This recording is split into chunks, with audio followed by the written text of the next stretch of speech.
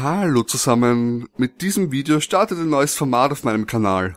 Zusätzlich zu den Mythen-Samstagen werden euch unregelmäßig zwischendurch Easter Egg Videos zu den verschiedensten Spielen erwarten. Die heutige Folge dreht sich um GTA 5. Relativ am Anfang der Story erwähnt Lester einen Kriminellen aus Liberty City, der sich zur Ruhe gesetzt hat. Gemeint ist natürlich der gute Nico aus GTA 4. Man sieht sogar kurz das Live-Invader-Profil von Nico Bellic. Wer wollte schon immer mal einen bekifften Jesus treffen und mit ihm über Gott und die Welt plaudern? Der muss nur an diese Stelle fahren.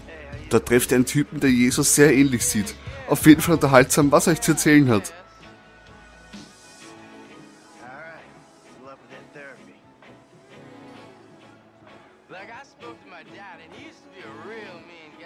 Ein Entwickler hat sich einen Spaß erlaubt und sich am Mount Chiliad verewigt. An einer fast unerreichbaren Stelle des Berges sieht man sein Gesicht auf den Fels gemalt. Nimmt am besten Trevor, um mit seinen Flugkünsten die Stelle zu erreichen.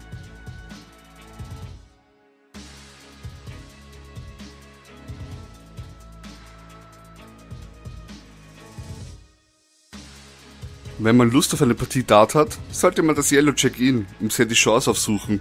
Dort hängen an der Wand Geldscheine. Kommt euch die Dame bekannt vor? Genau, das ist die Blonde vom GTA San Andreas Cover.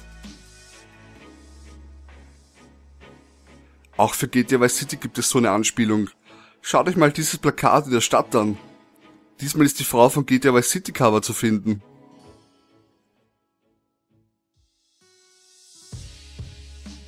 Ich hoffe, die meisten von euch kennen die tolle Serie Lost. Wer nicht, sofort nachholen.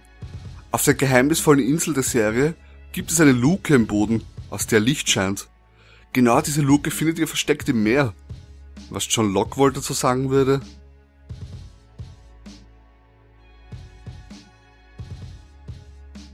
Für die Zocker unter uns gibt es noch eine Call of Duty Anspielung. Wenn man in der frühen Mission als Franklin das Auto von Michael klauen muss und das Haus betritt, sieht man seinen Sohn Jimmy ein Spiel zocken, das sehr an Call of Duty erinnert.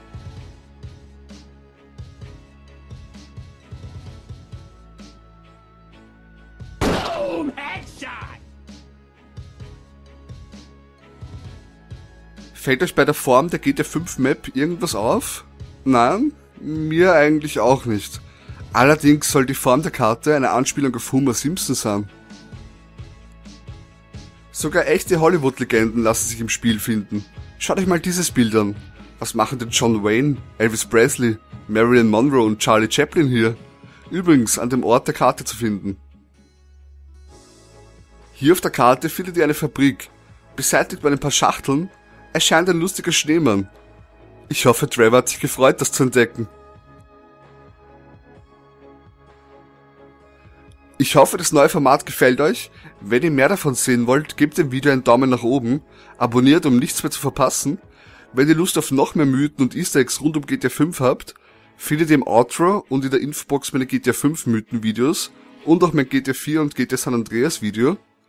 Falls ihr von den GTA 5 Easter Eggs noch einen zweiten Teil haben wollt, schreibt's einfach in die Kommentare. Bin schon gespannt, welche Easter Eggs sich im nächsten Spiel verstecken. Seid auch gespannt und bis zum nächsten Video.